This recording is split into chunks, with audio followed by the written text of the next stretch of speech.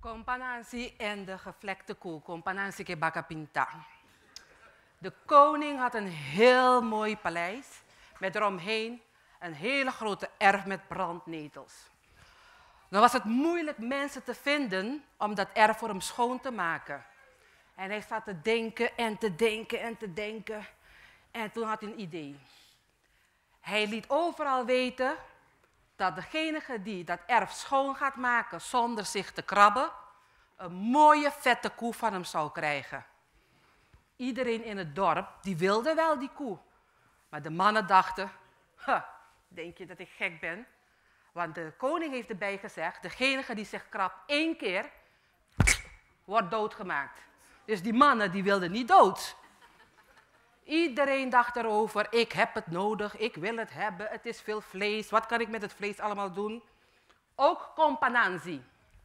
Hij zat thuis, hij zei tegen Maria, Maria zijn vrouw, Maria, weet je, ik ga dat erf voor Shongarij schoonmaken. Hé, nee, Nancy! Waarom doe je dat? Ben je zo hebberig? Waarom moet je zo gulzig zijn? Simbrek wensen, Nee, je gaat niet. Nancy zegt, ik ga. Dus Nancy die ging, die zei tegen de soldaten bij de poort, ik kom dat erf schoonmaken. lachten de soldaten. Gingen snel naar de koning. De koning zegt, laat mij die man zien die denkt dat hij me wijs kan maken en die graag dood wil. Nou, Nancy kwam, ze hebben met elkaar gesproken. Oké, onder één voorwaarde, één keer krabben, je wordt doodgemaakt. Nancy zegt, ja, maar ik heb één verzoek. Mag ik eerst kijken wat voor koe u hebt en dan mag ik mijn eigen koe kiezen? Oké, de koning had geen bezwaar, Nancy heeft gekozen. Ze zei van, die wil ik hebben. En ik wil hem hebben waar ik hem kan zien. Nou, de koe werd daar gezet, Nancy begon. Nancy begon, maak schoonmaak. Maak schoon, op een gegeven moment begon jeuk te krijgen. Op een gegeven moment hield hij het niet meer vol. Toen zegt hij van, corporaal, kom eens luisteren. Weet je wat voor koe je krijgt? Zei de corporaal. Ja, Nancy, ik weet het. Nee, maar dit is die daar, zei Nancy. Met dat plekje hier, een plekje daar, met je nana, een plekje daar. Intussen tijd krabde Nancy zich over zijn hele lichaam.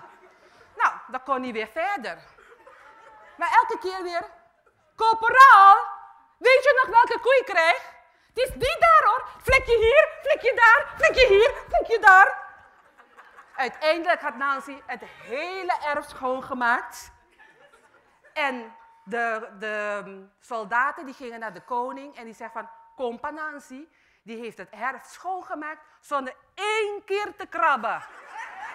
Nou, zei oké, dat vind ik tof.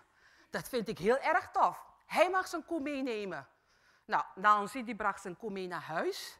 Toen hij thuis kwam, zei Maria, ai Nancy, weet je wat we allemaal met dat koe kunnen doen? Stopje soba, biefstuk, lomito. Van alles kunnen we iets met die koe doen. Wat ben ik blij. En de kinderen die zeiden, Hi, leven Nancy, leven papa Nancy, leven papa Nancy. En ze hadden voor hele tijd vlees in huis.